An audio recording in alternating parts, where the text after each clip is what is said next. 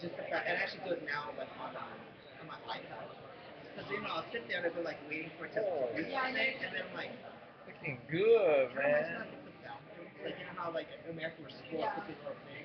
I remember doing this for a while, and then thinking, I'm like, oh wait, there's a faucet. And I like, All right, here's what I didn't realize it was recording already. So, so here we go. We're talking about finding something in common with everyone else, and uh, basically, I, I think that's everyone has has a sexual attraction to a particular person, and you know the question is, how do we deal with that? Well, let's work on it together, in a sense that kind of goes beyond physicality and goes beyond the competitive air of trying to impress, for example, all the potential mates around you, and you know, find find something in in history that is the missing piece because you know, look around at relationships now. Is there any perfect relationship? Well, there should be. There shouldn't be any arguments. The only way to do that is by having a singular authority. You know, there's only one person in control of the relationship. They're playing a role. It's not to say that the woman can't play the role of the authority. Maybe in a lesbian relationship she could. Or even with some men, maybe the man wants to be more submissive. Uh, the point is is creating magnetism, and the way to do it is by having extremes. And and uh, well, what are we gonna do about it? How uh, you know, John? What's the practical thing to do? Well, let's start off with having a little bit of self-control, and uh, you know, you know, do do simple things like self-pleasuring that make it possible to really enjoy life and go higher into the heart chakra and then the throat chakra where you're taking exclusive responsibility for whatever's going on in your, your space. You know, this is you. And uh, there's some tricks to do it. You know. First on, how about a little light work? Like I just did light work. You know, I was on the bus and I had just had a great time, and there's no way I could have figured out how to do it.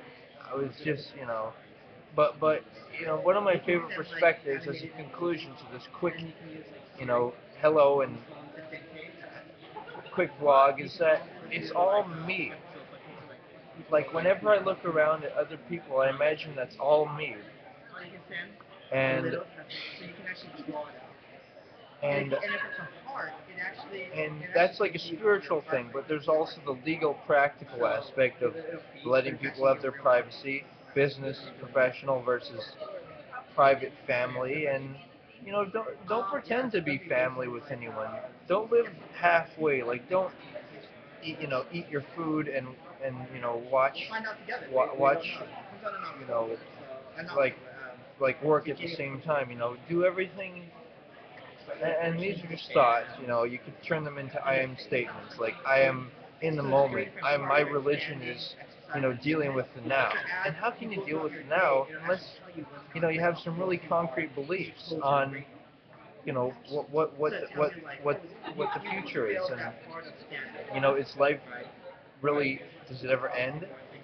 Uh, you know well for for a body it does but you know ultimately and it comes down to what what would you want it to done in your li- do in your life and that is impress yourself and you know find a mate.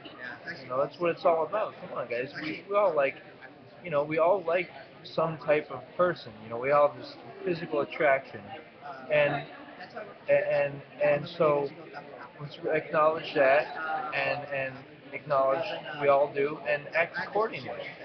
Like like um you know this the like the, the muslims have a sense of that. They have a brotherhood and the women cover themselves sometimes completely except for the eyes. Uh, it's just some stuff to think about all right and by the way if you haven't seen caesar's messiah that kind of gives an overcapping of what the christian religion is all about. Just remember that you know it's uh trying to control another person by being a king or a pastor it's not the way to do it control yourself and speak your own words. All right speak aloud your own truth. Thanks for listening. Till next time. Aloha